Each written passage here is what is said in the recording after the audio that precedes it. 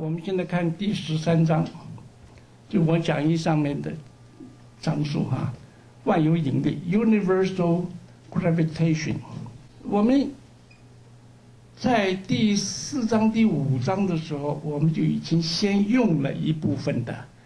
万有引力里面的一些概念，因为我们的题目啊，有很多题目可以从里头出来。那个时候要应用到牛顿第二定律来计算，啊，那现在我们，呃，其实它单独有一章呢，啊，单独有一章，就是介绍万有引力。好，万有引力是牛顿所发现的。这万有引力，牛顿是发现什么呢？他说，我们宇宙之间任何物体啊，指点就是说任何物体对其他的物体都有一种吸引力。就他先是用指点咯，哈，就说假定这两个是。任意的两个指点，这两个指点之间彼此就有吸引力。那这个吸引力呢，到底是多大呢？那么牛顿就把它研究出来啊，他从这个前人。所做的一些天文学的一些，呃，一些记录里面，啊，他从天体来看，啊，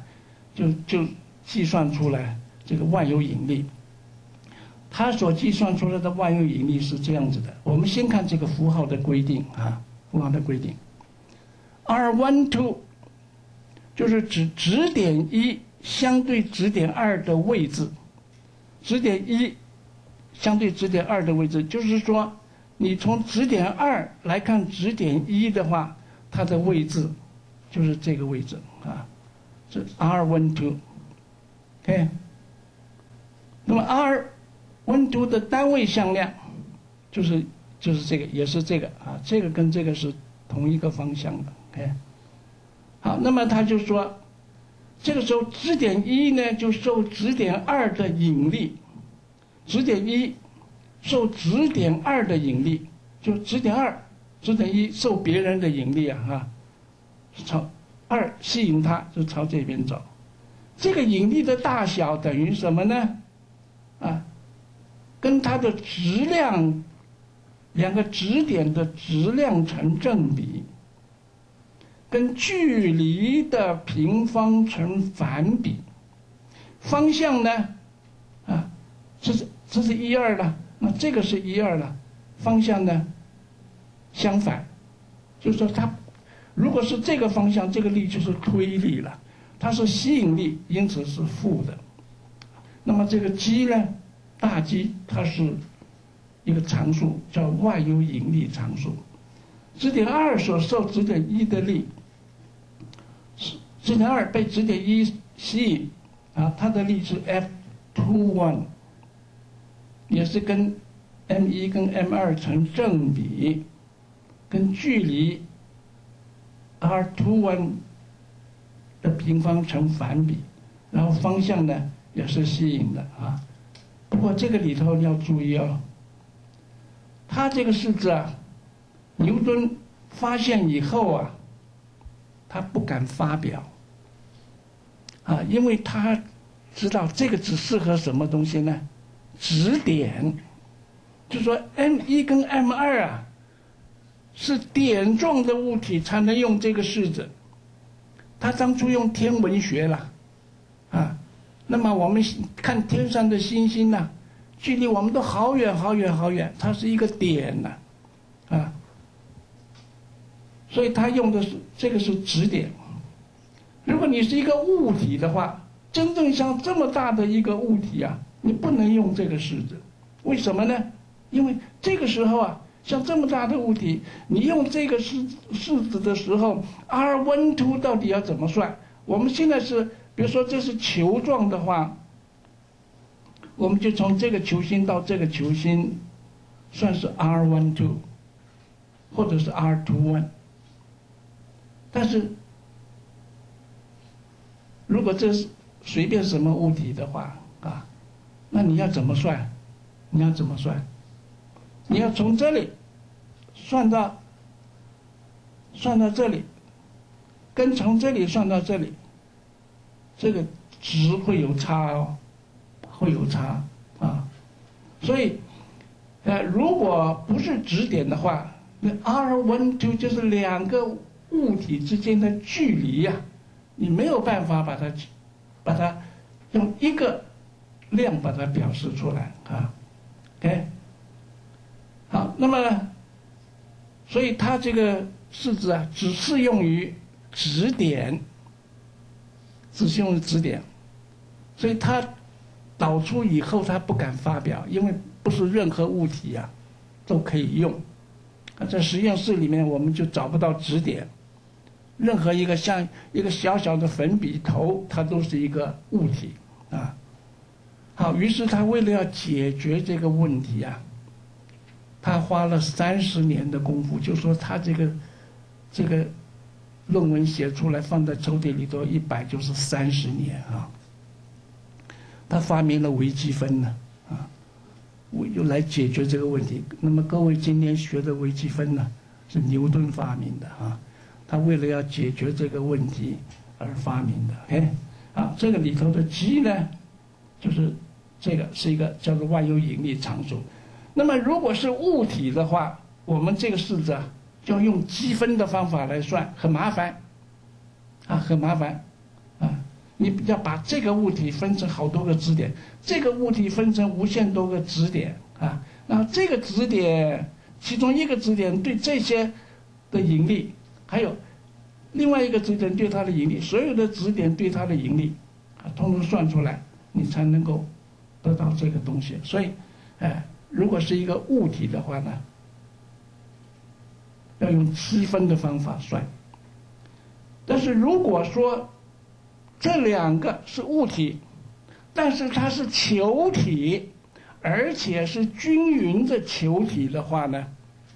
那么我们就可以用它的球心来算它的距离哈，球心到球心，OK 啊，这个是我们现在。哎，要用，所以你要要注意哈。M 一、M 二适用于指点哈，只适用于指点了。如果是具有体积的物体，要用积分计算。啊，如果是密度均匀的球体，那么这个物体可视为质量都集中于球心的指点。所以用的时候要要记得它有这个限制哈。所以你们现在学。物理的定律啊，我一一再强调啊，你要注意它的 每一个呃定律或者每一个式子，它的条适用条件啊，适用范围在哪里啊？你要把适用范围啊弄清楚，以后你再用的话呢，才不会出错。OK。好，那现在我们首先就看指点跟地球之间的万有引力。我们假定地球是一个质量均匀的球体，其实不是了哈。不，我们马马虎虎的算啊。地球假定它是一个球体，而且质量是很均匀的，它的质量是大 M，它的半径是大 R，球心在这里。然后呢？我们有一个质量为 m 的质点，它距离球心是 r 远，因为这个时候这个是质点，那这是一个球均匀的球体了，所以我们可以把所有所有这个 m 的质量都当作集中在球心了，所以这就等于两个质点之间的万有引力了，啊，当这个大 R 远大于。小 r 远大于大 R 的时候，这是地球的半径啊。如果这个距离啊很大很大，并不是在地球的表面，地球的表面我们都会做哈啊。这个如果是在离地球相当远的话，啊，这时候我们把地球视为均匀的球体，啊，那么所以这个指点在这个地方的时候啊，它只受，因为它周围啊空气，这离空气也很远了啊，那离其他星球更远了啊，那我们就说它呢，这个时候啊，仅仅只受到地球的引力，这个引力我们用 F G 来代表，就是说。gravitational force，地球的 gravitational force，啊，地球的引力，万有引力，好，那我们带到牛顿第二定律里面去，好，那么这个时候这个指点它的 total external force，全部全部外力的合力就只有这一个力，而这个力呢，根据万有引力，啊，它就是等于这个。因为你这个时候可以把这个地球当做一个均匀的球体了，所以它的质量集中在球心，就是两个指点啊。OK，好，应用第二定律啊。好，力来源是这个因，这个因会产生果，因为它作用在这个质量 m 上面，它就会产生一个加速度，ma 啊。假定这个质量不会改变的话，那么这个时候 a 呢，这个 m 约掉就变成这个，啊，所以这个要记得，质量为 m 的质点离地球直径 r 远的时候，它的加速度是跟 r 有关啊，r 平方成反比。所以它并不是一个等加速运动哦，哈，啊，所以它的加速度不是定值啊。如果如果 r 很接越来越小，接近于大 R，就是小 r 等于大 R 的话，小 r 等于大 R，那么我们就可以把这个啊。这个 m 拿出来，那这个是什么呢？机灵，机灵它就是啊，就是因为你可以把这个啊写成这个 m g 了，m g，g 就是机灵就是负 g m over 大 R 平方啊，那么这个就是地球表面的重力加速度。就是地球表面的重力加速度啊，这个我们在前面都都介绍过了啊。这地球表面的加速度，你可以把这些数字都带进去啊，差不多是这么大。哎，好，现在我们看这个一个指点啊，一个指点，它这是地球，我们当做均匀的啊，质量密度。都很均匀的一个球体，所以它的质量呢，m 一就是地球的质量，当做集中在球心。好，另外现在有一个另外的一个 m 啊，就是另外的一个质点，它的质量是 m，它从 A 到 B 沿着这么一个路径过来，在某一个时刻正好在 P 点，正好在 P 点，啊，那我们现在啊。就可以知道，它在 P 点的时候，m 在 P 点的时候啊，它所受到的力就是这个，我们刚刚导出来，对不对？m 一，m 就用 m 一来代表。好，那么这个力，就是说这个物体仅仅只受到这个力，啊，仅仅只受到这个力，Fg 哈是指这个，这个 mg，这个 r 是这个啊，我这个应该要画过来。啊，R 是指这个这个箭，这个箭头啊。好，它从这里到这里的时候，从 A 点到 B 点的时候，啊，这个力对它所做的功到底是多少多大？这个我们其实也搞过啊，也搞过啊。那你就是把这个式子，这个 dot ds，这个时候的 ds 呢？就是这个 ds，它可以分成两个分量了，一个分量就是 r 方向的增量，r univector 在这在 r 方向有个增量 dr，一个是在跟 r 垂直的方向，就是西塔的方向有一个增量 r d 西塔，所以西塔 univector R d 西塔，啊，这个一 dot。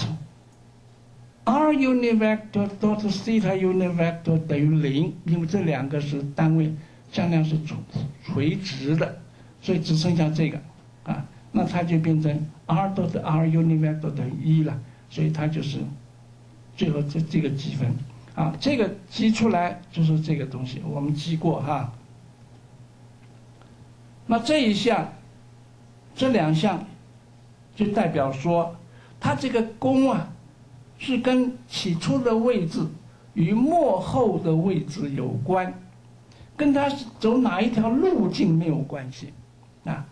刚刚是 A 到 B 是沿这个路径，你如果从 A 到 B，你画另外一个路径的话，也是这个样子啊，所以这个就可以写成 potential energy 的样式，EP 就是 potential energy，那就是 B 点的 potential energy 减掉。A 点的 potential energy，那么它就等于两点 potential energy 的差的负值啊，两点就是后来的 potential energy 减到起初的 potential energy，这是 potential energy 的差的负值。OK，好，那么我们看已经讲过哈，并不是 EP 就等于这个，并不是 EP 就等于它要有一个。有一个常数，我们不晓得是多大，不，我们可以设定一个标准，就设定 r 等于无限大的时候啊，EP 等于零，就设定无限大的地方，它的位能是零，你把它带到这里头去，啊，这个无穷大，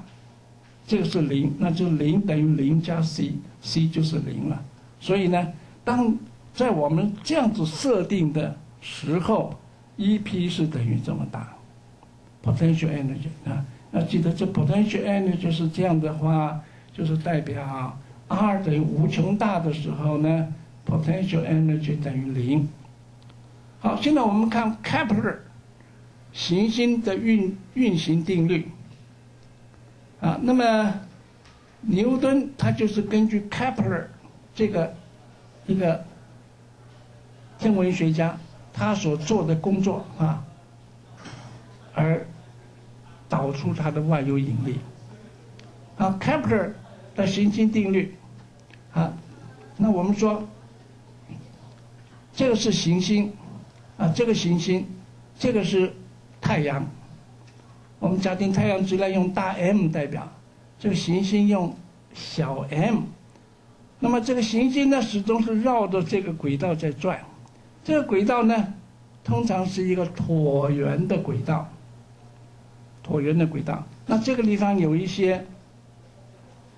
有一些这个，呃，名词哈，我们稍微的看一下啊。开普勒第一定律就所有的行星轨道皆为椭圆，太阳位于椭圆的一个焦点，这就是它的一个焦点。轨道，椭圆轨道的大小决定于两个参数，一个是 a，啊，a 就是这个 a，啊，从这个，这就是等于长轴了啊，一，一就是离心率，就是你这个本来如果是圆的话呢，这 m 应该在这里，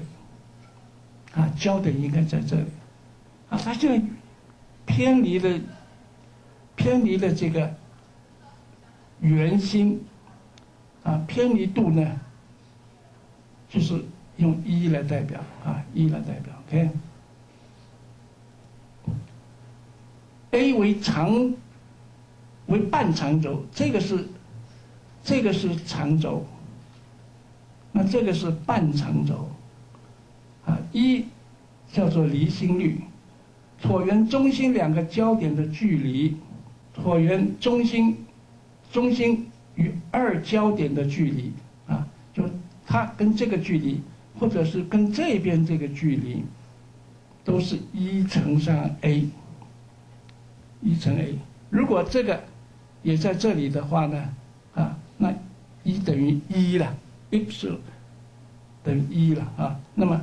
exponential 这个就是一等于一，那么在就是说这个是以 a 的一个半径为半径为 a 的一个圆在运动啊。那现在它这个就啊。没有那么大，是一乘上 a，哎，它它从这里偏离过来了哈。一等于零的话，这两个是合在一起，就是说一等于零，那就是这个这个距离是零嘛，对不对？这个轨道是一个圆形。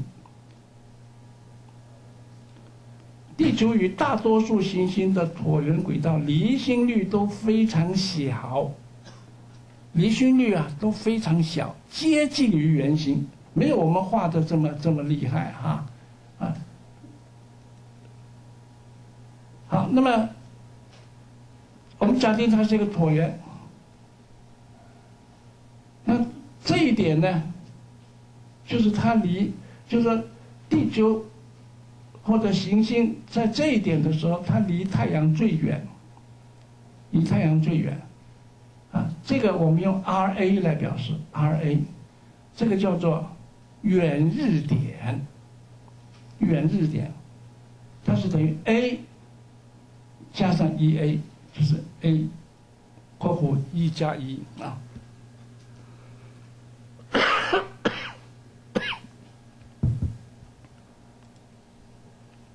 好，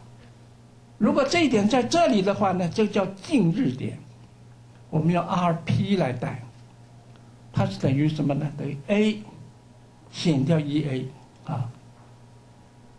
如果一等于零，那么这两个相等，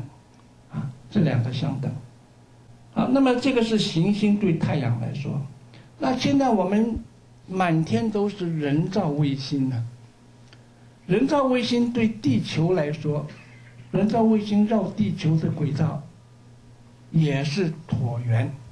也可以用用这一套来表示啊。那么如果这个是地球，这个是人造卫星的话啊，那么它的远这一点就不叫远日点，叫远地点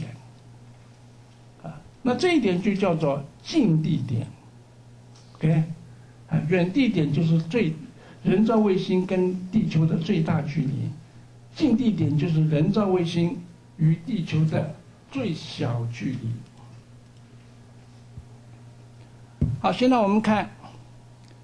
Kepler 第二定律啊。开普勒第二定律就是说，行星与太阳的连线啊，单位时间扫过的面积为定值。比如说，这个就是轨道，这太阳，这个行星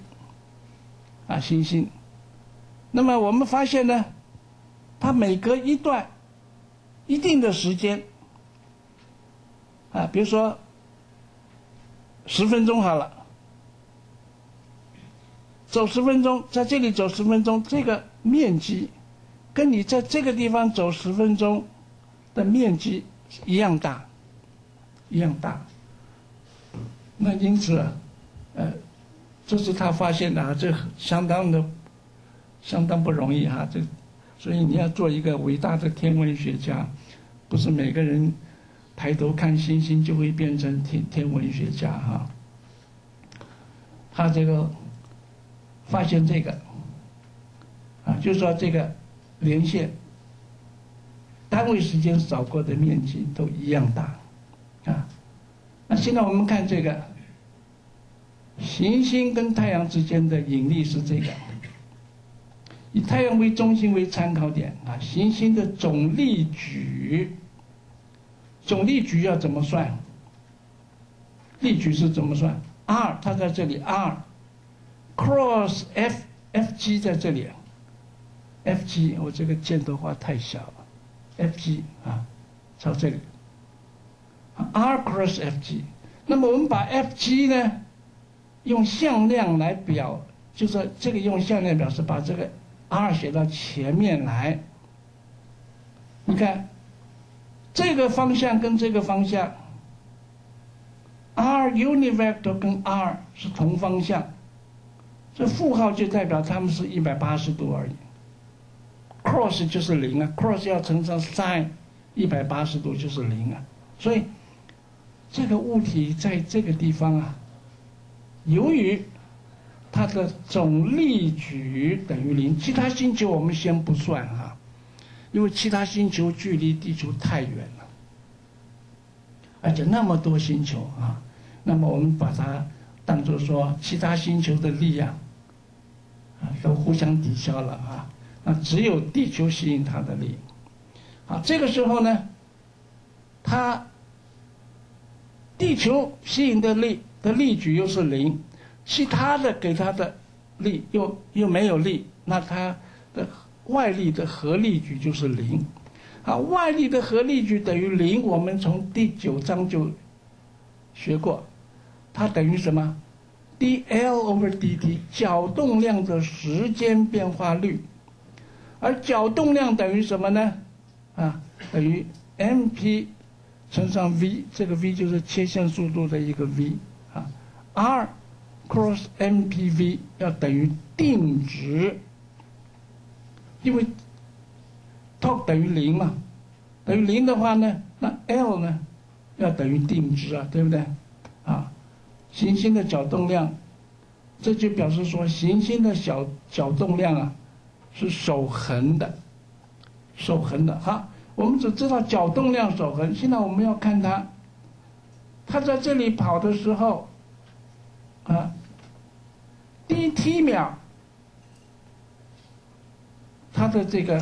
啊位移啊位移是这个位移是这个，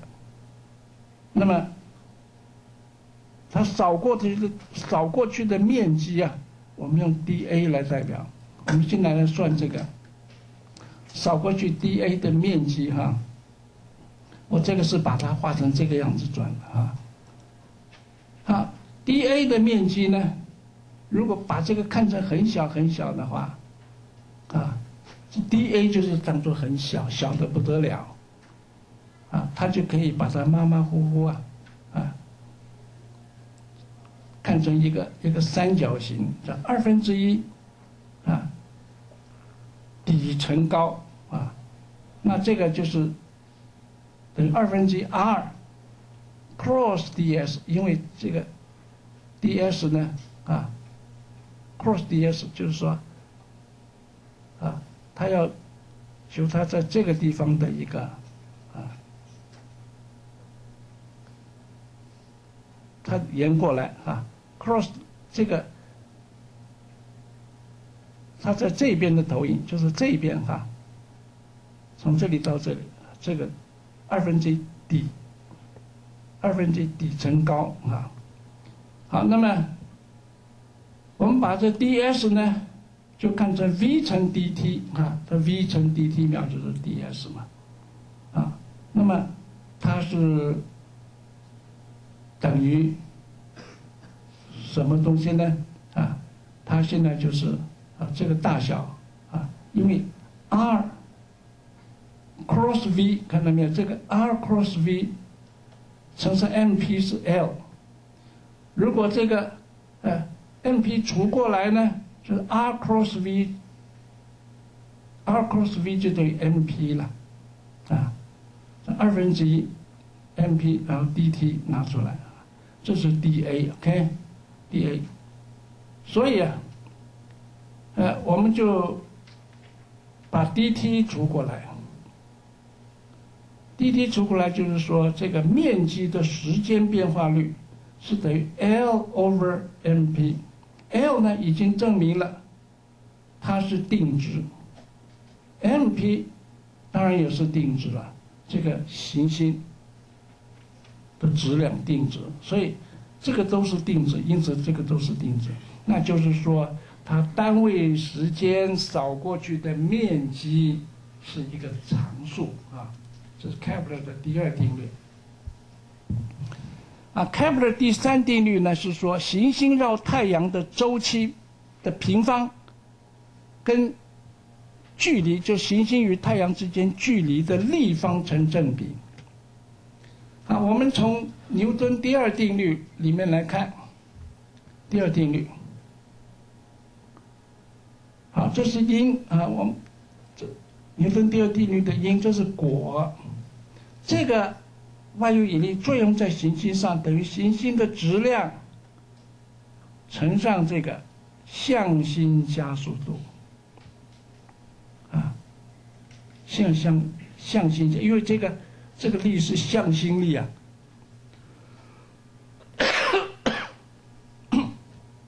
这个力始终从行星指向这个太阳啊。所以是等于 m v 平方 over r，OK，好，那么我们现在把这两个式子 m p 都约掉，RUniVector 跟负号通通拿掉，我们就得 g m s over r 平方要等于 v 平方 over r，那么 v 呢就是这行星的速度了。它等于二派 r，我们马马虎虎把它当做是一个，呃，球形，当做轨道是一个球形的啊，就是二派 r 被 t 来除，就转一圈的距离被一个周期的时间来除，就是它的速度，OK，啊，那么我们从这里可以把这个式子变成这个样子啊，那。再把这个括弧呢，用 Ks 来代表，就是一个常数了。四拍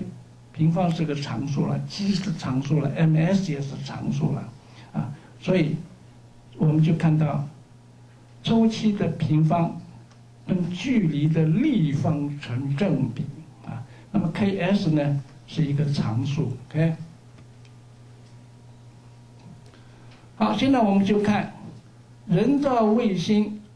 及人造行星跟人造卫星的运动与能量的关系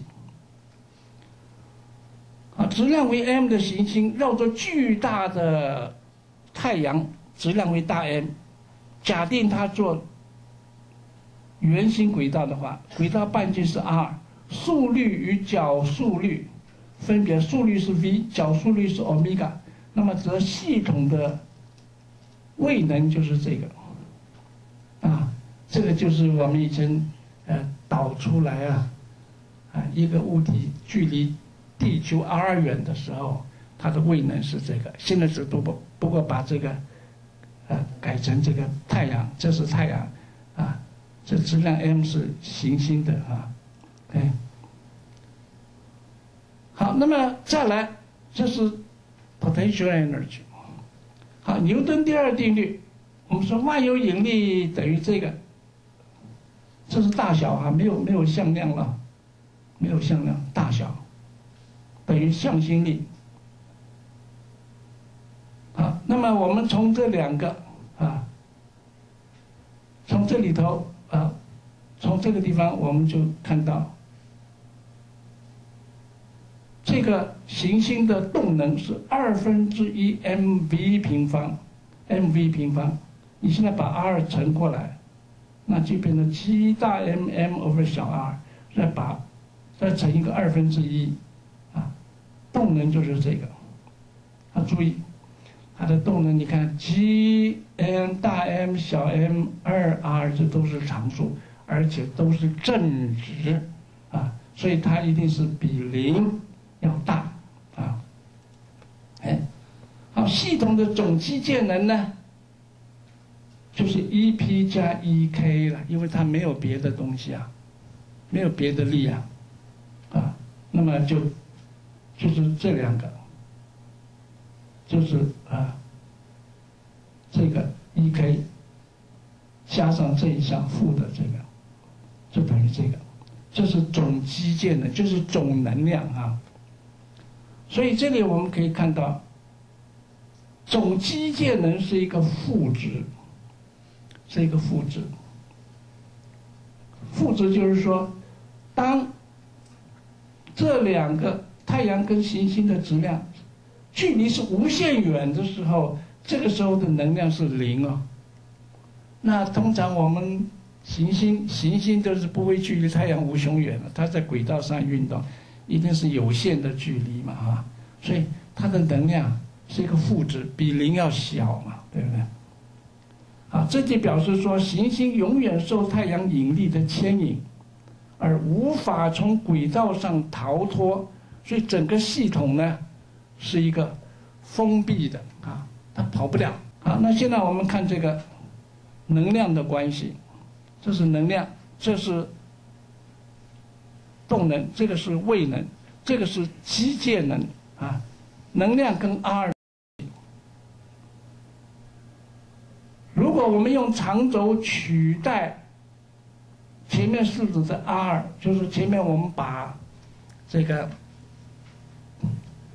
行星都当作是圆形轨道。如果现在我们用 A 来代表的话，就说它是一个椭圆轨道，啊，那这个就是这个式子也适用于椭圆形的轨道的，就是说这个就这个式子跟这个哈，就是适用于椭圆形轨道的运行，它的星球啊也是一种很封闭的，OK。啊，因为引力是保守力，会行星运动的总能与角动量维持定值。因为呢，引力是保守力，对不对？Conservative force。行星的运动，我们刚刚说过了，它角动量维持常数，因为它只受引力的作用，引力的 torque 又等于零，啊。所以它所有 total torque 就是零，因此它总动量、角动量的维持定值哈。由于总能与离心率之大小无关，所以凡是半径长为 a 的这个这个长轴为 a 的这个啊半长轴为 a 的这个星球啊行星，它的轨道啊。都有相同的这个能量，啊，哎，你看这个轨道啊，这是如果离心率等于一的话，等于零的话，这是圆形轨道；零点五的话是这个，零点八是这个，零点九是这个，啊，那么我们说这个轨道形状跟离心率有关系，啊，离心率。跟离心率有关系，但是总能跟离心率没有关系，总能没有关系。只要是它长轴的半径是 a 的话，啊，它的它的轨道啊，凡是半径 a 的，故凡是半径呃半长轴。a 之值相同的时候的所有轨道，它的系统都有相同的总能。就说长轴，它跟长轴有关哈，OK。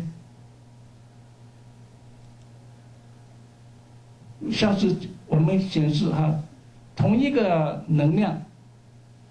下多个不同离心率的轨道啊。好这些这些呃，都代表它的离心率不一样啊，可是它的总能呢啊，通通是一样啊，通通是一样，OK 啊，那么就说这个轨道的形状啊，跟离心率没有关系，就说你是圆的还是椭圆的。都没有关系，只要是半长轴啊，a 值，半长轴 a 的值相同的所有轨道上面啊，系统都有相同的轨道。只要那个半长轴 a 是相同的话啊，那么它的这个能量啊，通通是一样啊。我们看这都是一种封闭的啊，像这个圆呐、椭圆呐，啊，这个都是封闭的。OK，你看这个半径是这个，半径是这个啊，那这个是椭圆啊，那它现在这个焦点在这里了，焦点就是说离焦点哈，焦点。在这里，OK，啊，那么也就是说，它这个时候的半长轴啊，啊，我们可以看成是，啊，是这个半长轴，啊，从这里，啊，到这里是它的一个半长轴啊，那其他的这个这个也是，啊，应该要看前面的这个，前面的这个。这个是半长轴，这个半长轴，OK，啊，从这里，你看从这个椭圆对称的地方到这里叫做半长轴，啊，半长轴，好，那么我们现在看这个，啊，这个圆这是半径，对不对？好，这个是一个椭圆，那么这个从这里到这里的一半啊。如果这个一半的值啊，也是跟这个一半的值一样大的话啊，那就是它的 a 都是一样的啊，这个也是一样啊，这个从当中到这里，就是说这几个都是半长轴一样长，因此呢，啊虽然离心率不一样，形状会不一样，但是它的总能量都一样啊。如果我们对这个封闭的系统，供应它适当的能量，可以让它的总能量啊，由负值变成正值或者是零值。变成零值的话，就是说这个物体可以跑到距离太阳无限远的地方，就脱离太阳的引力。比较正值的话，就是脱离太阳的引力以后，它还可以跑啊。就这个时候，它的轨道不再是圆形，不再是椭圆形，啊。所以说，轨道的形状呢，通常呢，我们看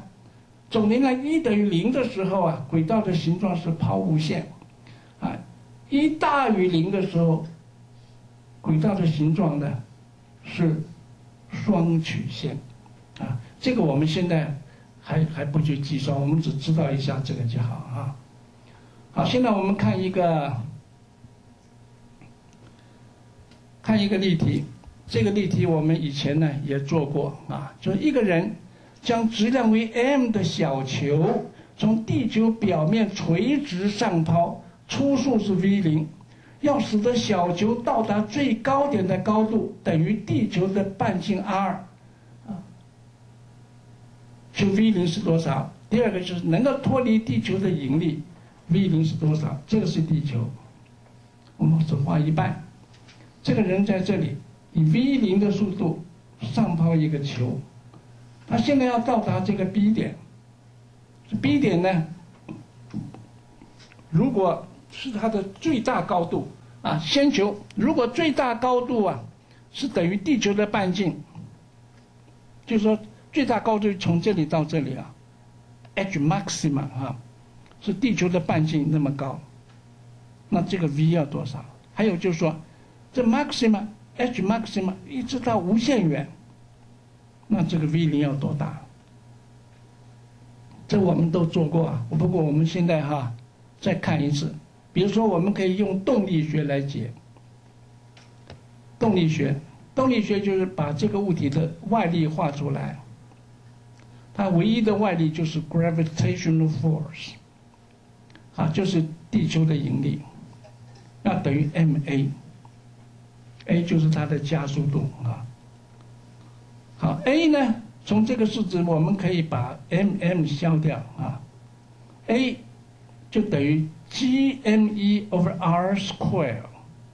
负的，哎，然后这个 a 呢，因为它是跟它是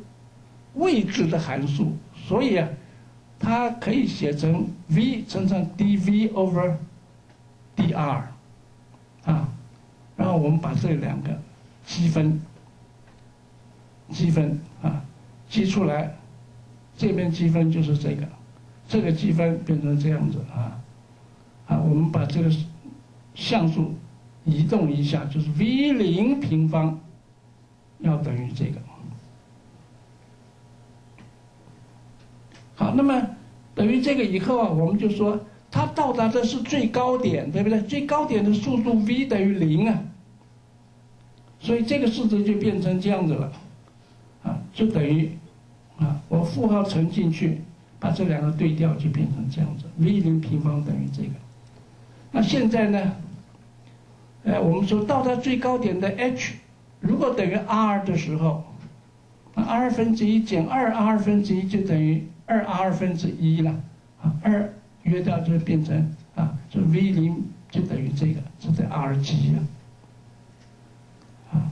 那么 g 呢，就是地球表面的重力加速度，就是我们把这个式子啊，啊，上面乘一个 g，下面乘一个大不，上面乘一个大 r，下面乘一个大 r 也乘个大 r，那么这个就变成 r 乘上 g，就是地球的。重力加速度啊，好，最高点如果是 maximum height 等于无限大的话，那这项无限大就没有了，啊，所以它这个就是等于这个值的两倍啊。这个呢叫做 escape velocity，啊，escape velocity 叫逃脱速度。这个啊，以前我们也都介绍过，就是你以这种速度上抛这个物体啊。它可以，呃，逃脱地球的引力。第二种方法，我们就用功能定律来解。我们由功能定律，非保守力做的功要等于动能的改变加上位能的改变。因为这个等于零，所以非保守力等于零。那就是非保守力做的功等于零了，就就是因为因为非保守力等于零，所以呢，保守力做的功等于零，因此我们就有啊，delta 一等于这个，我就这个是零了哈。你现在你也可以写说啊，这个等于零，所以呢，它机械能守恒也可以啊。机械能守恒，像我们呃要做这一类题目啊，你你比如说我们用机械能守恒，你要先确定它可以是，它有资格可以用机械能守，你就一定要把这个写出来啊，所以这个等于零，因此机械能就守恒，OK。如果动量守恒的话呢，你一定要说明。因为它的外力等于零，所以动量守恒，或者说 x 方向的外力等于零，所以 x 方向的动量守恒。在你们做题目的时候啊，我是要求你们一定要这么严格要求你啊，你要用一个定律的时候，你一定要确定，它就是你这个问题。是有是是不是满足这个条件啊？满足这个满足这个机械能守恒的条件，才能用机械能守恒；满足动量守恒的条件，才能用动量守恒。不能够呃，不管三七二十一，我就说一个动量守恒，你就把它把它试着写出来哈，这个不好啊，这个不好。所以以后你们要特别注意，你们现在要学的就是这个。所以，像这个，啊，你知道这个等于零，所以这个你也可以说，啊，你可以先写这个，然后说啊，所以机械能守恒也可以，机械能守恒就是动能加位能要等于常数啊。那现在这个等于零，知道了，那德尔塔一 k 我们也求出来，就是二分之一 m。Vb 就是 B 点的动能减掉起初的动能是等于这个啊，然后 EP 呢也是啊在 B 点的就就是说这个物体到达最高点啊，最高点，OK，最高点，就到达这个任意一点，我们现在还没有讲到最高点啊，任意一点，就是 B 点，不是 A 点了啊，这个应该是应该是